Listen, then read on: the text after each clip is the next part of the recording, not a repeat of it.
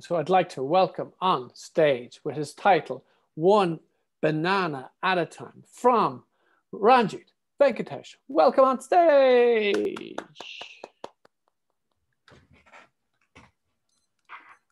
The year was 1892. 129 years ago, the man in the orange robes was Swami Vivekananda.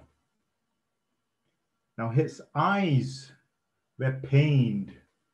See, he had traveled the length of India and he had come back after seeing all the poverty and the ignorance as he saw it. And he wanted to make a change. He was standing in front of the sea, and there was a piece of rock in front of him 500 meters from the mainland. And he wanted to get there. Now, the waves were high, but his resolve to get to the rock was higher. So he swam out into the sea. He got to the rock. He sat down and he meditated for two long days. And he came back with a resolution. He dedicated his life to uplift the masses in India.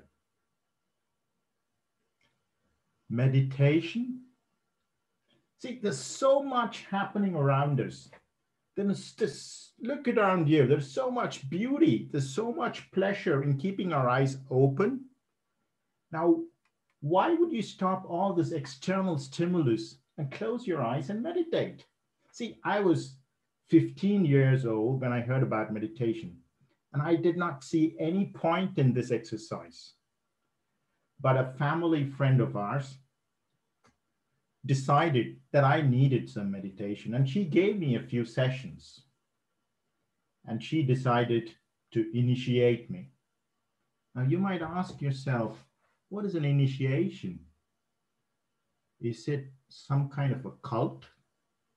Uh, no. You see, I already belong to a cult, Toastmasters. I don't need another one. But anyway, an initiation is providing the vision to see a path. You know, you could think of it like pathways.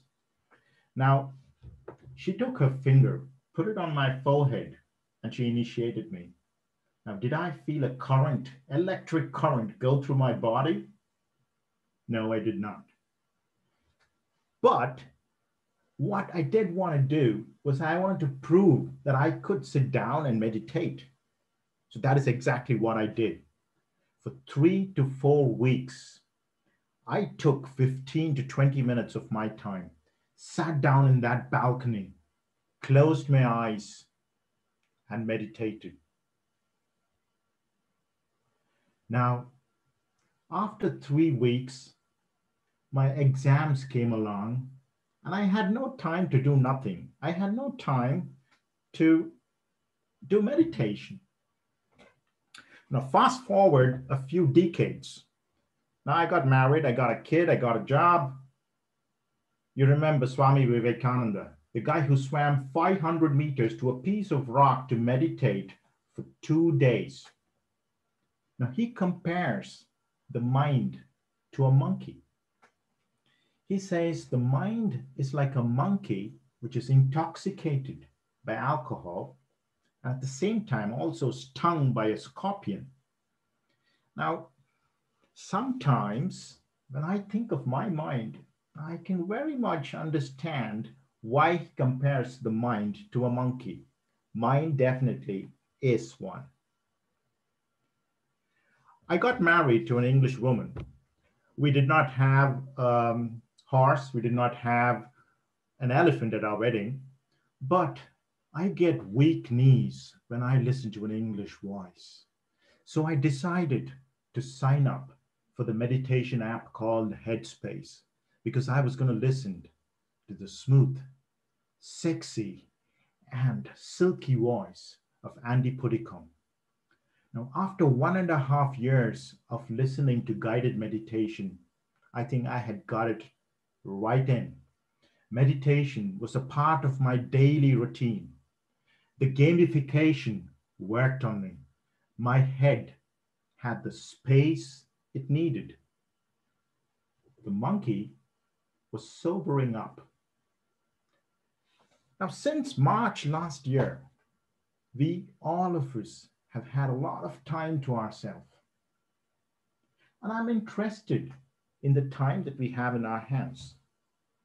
See, we spend it eating, working, sleeping, binge watching, sport, and a bit of the German national sport, Luftung. But do we spend some of this time alone with our minds? Can we sit down for 10 minutes in a day and spend it with the vast expanse of our minds?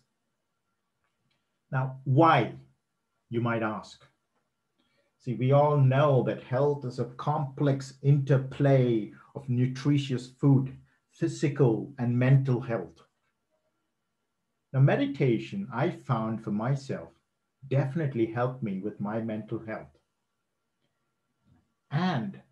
Good mental health, I found, has the potential to influence the food that I took in and my physical health. Will it be easy? Mm, not really. You know, just like speech making, meditation needs practice. But the nice thing about it is that all you need is just 10 minutes in a quiet place where nobody is going to disturb you. I want to leave you with a story about the effect of meditation in my life. After a session of meditation, I'm able to observe the monkey in my mind. Now, previously, this monkey went crazy when it saw a bunch of bananas. But today, when this monkey walks into a banana farm with thousands of bananas, all it wants to do is to sit down below a big leaf of a banana tree and eat one banana at a time.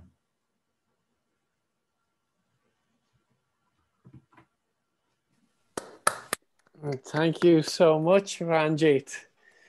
You went from being the guy who